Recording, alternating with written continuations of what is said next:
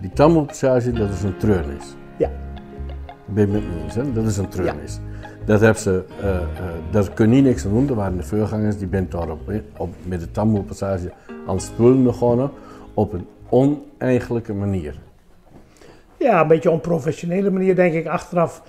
Ze hebben te snel stappen uh, gezet zonder de mensen die het aangaan in het proces mee te nemen. En ja, dan weet je wat er gebeurt. Dan gaan de hakken in het zand. En dan wordt alles, alle ideeën die worden op voorhand al van tafel geveegd. En er ontstaat de situatie dat het geen vertrouwen, maar wantrouwen wordt. Ja. En op een gegeven moment is alles wat er gezegd wordt, wordt op een weegschaaltje gelegd. En uiteindelijk valt het meestal negatief uit. Want de achterliggende gedachte is niet, is niet goed. Dus je moet altijd proberen om eerst met elkaar het vertrouwen te hebben. Dat was een zware taak voor jullie? Dat was een zware taak voor ons. En daar hebben we ook best wel, uh, wel stevige discussies gehad, ook met de ondernemers in de tamboeren. Samen met, met Jan Swiers. Jan Swiers is uiteindelijk trekker van het project, want hij is wethouder economische zaken en daar valt ook de binnenstad onder. Ja. Maar goed, het is goed gelukt uh, naar uh, alles gezegd te hebben wat er gezegd moest worden. En vooral vanaf de andere kant. Hè? Ja. Want ja, wij hadden geen, geen historie.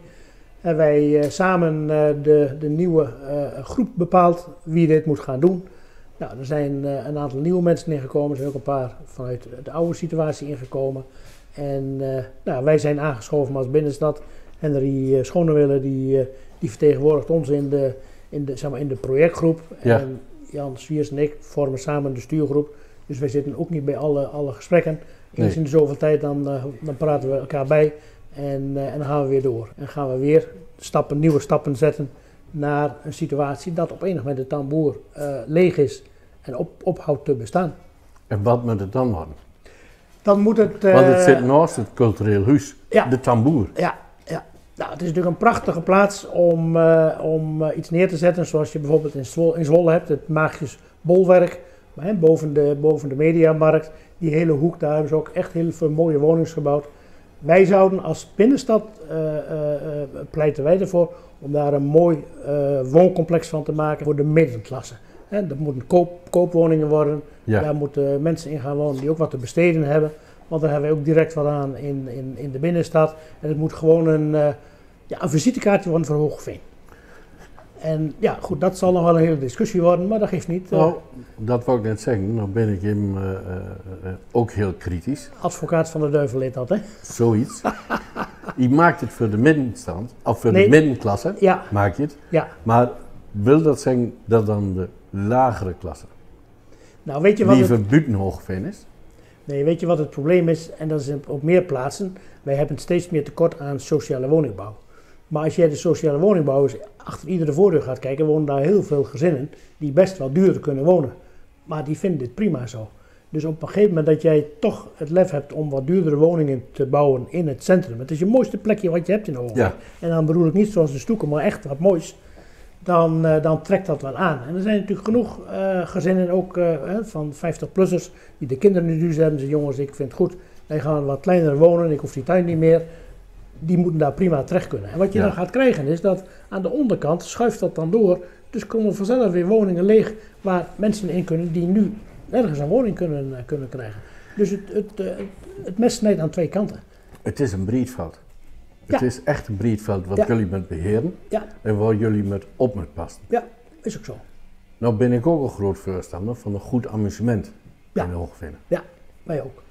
Jullie ook. Ja. Daar liggen wij op één lijn. Nou, kijk, een tamboer is heel belangrijk. Een, uh, een uh, podium hier aan de, aan, de, aan, het aan de Schutstraat is heel belangrijk. Maar ook, uh, ook andere, andere centra waar, waar muziek gemaakt wordt, is, is gewoon, gewoon heel belangrijk. Daar, daar word je ook op afgemeten als gemeente. Hè? Als, als mensen deze kant op komen te wonen, hebben ze een aantal dingen waar ze dan op, op, op af willen strepen. Dat is uiteindelijk hoe is de cultuur in Hogeveen, hoe is het, het winkelaanbod in Hogeveen, maar ook hoe is de sport in Hogeveen. Nou, hoef niks over te vertellen, het ziet er perfect uit. Hè, de, de sportgelegenheden in, in Hogeveen. Wat voor bedrijven zitten in Hogeveen waar, hè, waar, waar gewerkt kan, uh, kan worden. En, uh, en de scholen zijn natuurlijk heel belangrijk daarin. Nou, dat moet je gewoon zorgen dat dat op een goed niveau is. Dat mensen daar niet op afknappen. En dan zeggen wij rieden wel deur naar Emmen of naar Assen. Want dan hebben ze het beter voor elkaar. Je hebt er uh, voor een paar maanden terug hebben we er ook met, met gemeentebestuurders over gehad. Ja. En toen zeiden we van de parkeergelegenheid in Oogvinden. Is Ja. hartstikke duur. Is niet waar. Is niet waar. Wij, wij gaan in, wij gaan in dat is hartstikke duur. Dat Ja. trekt geen mensen. Nee. Toen kregen we het horen van, dan komt mensen maar op de fietsen. Ja, ook dat gaan we heel veel geld in stoppen. Hè? Is het zo? Ja, we hebben eh, 2,65 miljoen van, eh, van de provincie gekregen. We zijn de eerste in Drenthe die het, eh, het plannetje klaar had. En eh, daar gaat 800.000 euro eh gespijkerd worden aan verbetering van de bereikbaarheid van het centrum op de fiets. Dus het aanschaffen van een pedellek kan gebeuren. Ja, ja, zeker, absoluut, absoluut. En parkeren wil ik wel even op reageren. Ja, Eh, graag. ja, zeker. Kijk, eh, wij rekenen op dit moment vanaf 1 januari voor een hele dag parkeren in Hogeveen 5 euro. Daar kun je niet zoveel van zeggen. Nee. Je kan in Hogeveen overal achter de winkels parkeren. Daar kun je niet veel van zeggen. Je kunt van de Nicolaas Beesplein zeggen van nou, dat is een oude meuk. Dat klopt ook. Maar de plannen liggen er al. De plannen liggen er al. Er komen eh, hier aan het eind van deze straat waar, waar wij wonen, komen aan beide kanten mooie eh, appartementencomplexen. Ja. De achterkant van de Beukemaplein, dus de winkels, daar gaan de eh, ondernemers gelegenheid krijgen om daar woningbouw, een stukje van de winkel af te pakken en daar woningbouw op te zetten. En de hele, de hele Beesplein wordt helemaal opnieuw heringericht. En dat ziet er over een paar jaar helemaal gelikt uit. Net als aan de andere kant het Stoekenplein. Jan, ik u eraan. Ja, Maar er Nee, maar zit hoeft niet, want dat gaat door. de verandering in. Hè?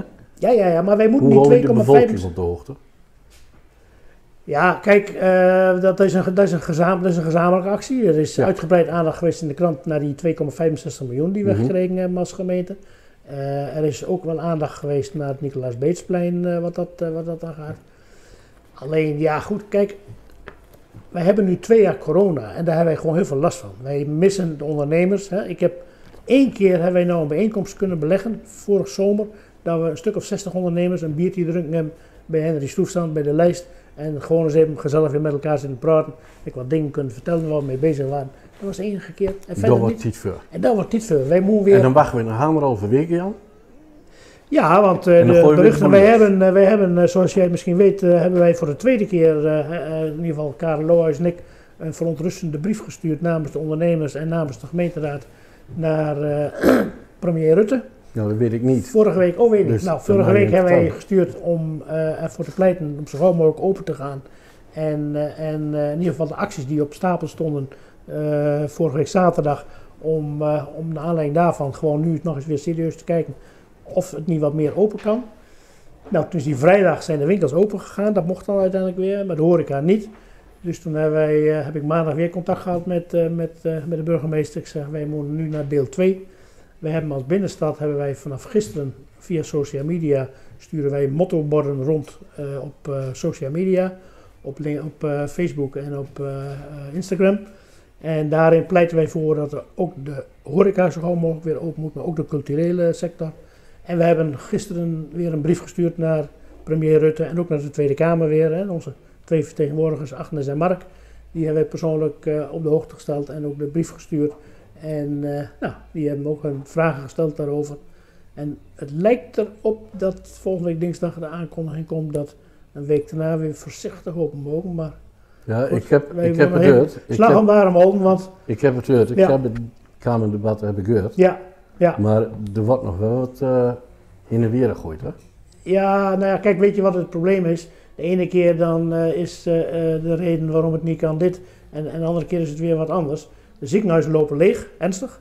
We hebben hier hier Eh, compleet leeg staan. Ja, ja zeker ook dat nog. Maar de, de, de ziekenhuizen, zagen, patiënten die door, door corona liggen, lopen gewoon hard achteruit. Voor wat het waard is, want ja goed, daar wordt natuurlijk ook regelmatig eh, kritisch naar gekeken. Maar 80% van de mensen die op, nog in het ziekenhuis liggen, die hebben bewust eh, zich niet laten vaccineren. Nou, dat zijn keuzes die, eh, die je kunt Ja, maken. respecteren. Moet je respecteren. Ja. Maar goed, het geeft wel een verkeerd beeld. Want die andere 85 of 90% die het wel gedaan hebben, hebben er natuurlijk wel heel veel last van. Nou, Als die ben ik los. Dat bedoel ik maar. En dus ik hoop dat de horeca en, en, de, en de theater weer open gaan. En dan niet, te benauwd. Wij moeten leren leven met het feit dat we eh, corona onder ons is. We hebben dan nu weer de Omicron variant. En er zal aan het eind van het jaar vast weer een andere komen. We moeten maar gewoon mee leren leven. En we moeten de boel gewoon losgooien. En dat je er ziek van wordt, nou, dat is dan heel vervelend. De mensen die eh, de vaccins gehad hebben, die Nou, die hebben het als een griepje ervaren. En de mensen die het niet hebben, die hebben het misschien iets meer ervaren dan, dan, dan een griepje. Maar wij kunnen niet van bovenaf uh, ons, ons, ons land kapot laten gaan op deze manier. Want dat is uiteindelijk wat er gebeurt. Precies. De economie gaat kapot. Hè, en ik, ik spreek ondernemers, ook zeker wel die in, in ondernemers Hogeveen zitten, die dus ook veel internationale handel hebben. Die zeggen, wij hebben geen idee wat er in deze wereld aan de hand is. En uh, daar moeten we ons best wel zorgen over maken. En dan is de keuze, moet je zorgen maken over uh, een paar mensen meer die komen te overlijden vanwege een, een, een coronavirus. Of moet het zo zijn dat gewoon tientallen bedrijven op de fles gaan en je daardoor op heel andere plekken problemen gaat, gaat krijgen. Je ziet nu met leveringen, uh, automerken kunnen auto's niet meer afleveren, want ze missen onderdelen, chippies. Uh, en, en, en nou goed, ik zit dan, uh, ik kijk nog veel naar campers en zo, omdat ik dat wel leuk vind.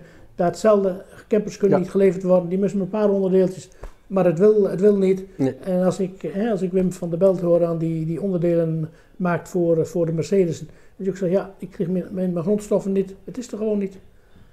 Dus jullie, zit, jullie zitten als ondernemers, niet alleen van binnenstad Hogeveen, maar ook roemdenkend hoe de economie in deze omgeving, en dat is niet alleen Hogeveen, maar dat is heel Drenthe eigenlijk ja, een klein beetje, Ja, daar zit jullie een, een, een, een antenne voor op om het te lusten wat er allemaal gebeurt en hoe wij dat moet, met de ammer pakken. Ja.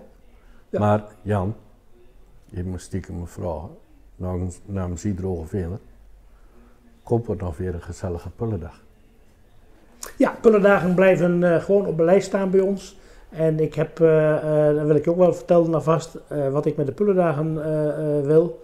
Of zou willen, wat ik, wat, dat had ook al moeten gebeuren. De pullendagen moeten eigenlijk blijven zoals ze zijn. Alleen we moeten er een wat andere loop in zien te krijgen. En ik bedoel daarmee te zeggen, je begint s ochtends met de, gewoon de pullendagen, met de kraampjes en weet ik wat meer. En dan ga je langzamerhand de hoofdstad op. En dan, wat mijn idee is, waar de markt dan staat, want het is altijd donderdag, de markt staat er. En die staat er met heel veel tegenzin tot een uur of vier middags. Dus, dus het idee is om de markt gewoon de gelegenheid te geven om één uur uh, weg te gaan. Uh, uiterlijk half twee iedereen weg, of twee uur, hè, daar kun je niet over afspreken. En dan die ruimte weer opnieuw gaan inrichten met heel iets anders, maar wel leuke dingen. Want wat ik graag wil is, dat als, nu is de pullendagen om vijf uur afgelopen. En om tien over vijf word je door de, uh, de vuilniswagens en de veegmachines van Area word je letterlijk de stad uitgeveegd. Nou, daar heb ik een jaar naar gestoord. Dan denk ik van, dat moet niet, dat, dat moeten we zo niet willen. Wij moeten de gezelligheid in de stad houden. Ja. En uh, vandaar dat ik zeg van, van vanaf een uur of vijf moet die gezelligheid moet beginnen, zeg maar, halverwege de hoofdstraat. En dan zo door naar de kerkstraat. Want het is natuurlijk toch altijd een klein beetje ondergeschoven kindje, die hoek. En dat we daar dan tot een uur of negen à tien gewoon gezelligheid hebben met muziek, met lekker eten, met lekker drinken, met een beetje Hogeveen culinair, maar dan in het klein. En wat zeggen de Hogeveeners? Ja, nee, maar uh, Meppeldag, dat is veel gezelliger. Wij gaan naar Meppel. Dan zeg ik, dat is prima joh. Als je hier om tien uur je buikje vol hebt, dan stap je in de auto en dan rie je naar Meppel. En dan ga je naar uh, Meppeldag toe. En donderdag Meppeldag. Maar wij kunnen prima tot die tijd kunnen wij zoiets doen. En Komt, komt het dan is, ook zo is- dat je soms wat later kunt eten? Ja. En komt het ook zo dat er dan zondags ook wat sfeer in Hogeveen komt? Ja hoor, dat kan prima. Zondag is, eh, wij, wij hebben eh, weer een aantal koopzondagen. Of de reguliere koopzondag is altijd de laatste zondag van de maand. En daarnaast kunnen we nog een aantal andere zondagen inrichten voor, voor gezelligheid en zo. Ja, daar, daar zijn, kijk, ik heb een, een bestuur die, die daar gewoon heel goed in is. We hebben gewoon vreselijk goede ideeën, eh, hebben wij nog steeds.